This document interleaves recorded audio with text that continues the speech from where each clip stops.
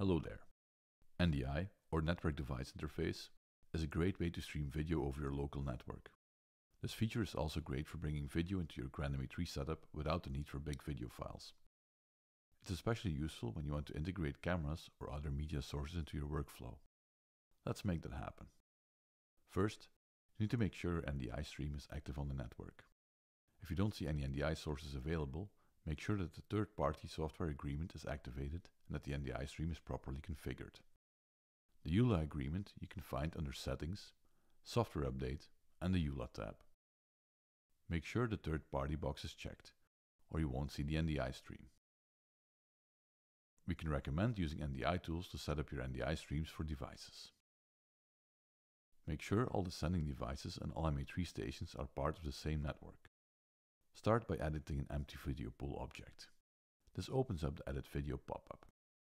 Click on Source, then select NDI the Select Source pop-up window. After that, click on Select Source and a new pop-up will show you all the available NDI sources.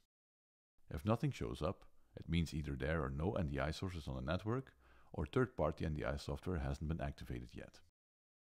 Two streams show up in my feed. There is a video feed and a PTZ camera feed. Let's select my MacBook screen to simulate a video server to start with. Once you've chosen your NDI source, the next step is to adjust the bandwidth setting.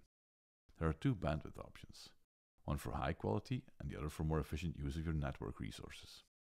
If you're working in a high bandwidth environment, you can go for the higher quality setting, but be mindful of your network capacity. Each of our Ethercon ports will support up to 1 gigabit of traffic. Once you've selected your preferred bandwidth, tap close to exit the editor. Let's create another video source for the camera feed.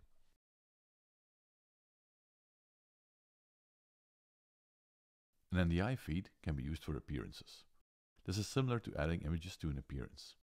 Instead of using the image source, you'll select videos in the title bar of the select image pop-up.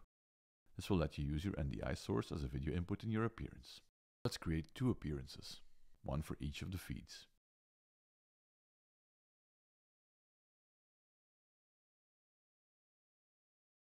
We can assign an appearance directly to a new layout. This layout will now show our NDI stream. Another NDI source we can use is our camera. NDI allows us to integrate multiple feeds into our show file. We could use the layout viewer to preview the two feeds in one layout view. Let's create two rectangular objects, use the edit function and assign the two appearances to the respective objects.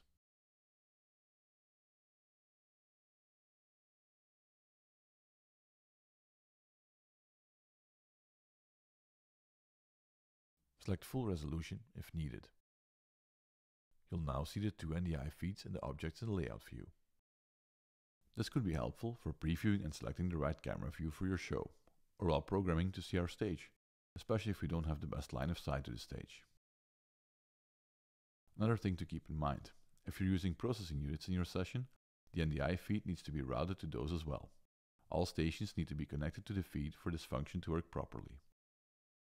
Once you've got everything set up, you can of course store your NDI layout views for quick access later. This makes it easy to pull up your video feeds whenever you need them. We can also use our NDI stream as a video source for a bitmap and apply it to objects in our show. Edit an empty bitmap object, navigate to Content and select Video as an image source. Now we can choose which NDI stream we want the bitmap to use. Let's choose the content feed. Now we select our LED wall and apply our bitmap to it. We can now see our content feed on the LED screen. Of course, we could apply this to other fixtures as well to create some really funky effects that are in sync with the colors and dynamics of our video feed. Let's apply this bitmap to a perspective grid view of our full grid. Awesomeness. You could also assign your NDI video feed to your lock screen as an appearance. This feature is useful if you want to keep a video stream visible while your console is locked, or just for fun. Go to the user configuration settings and assign the video to your lock screen.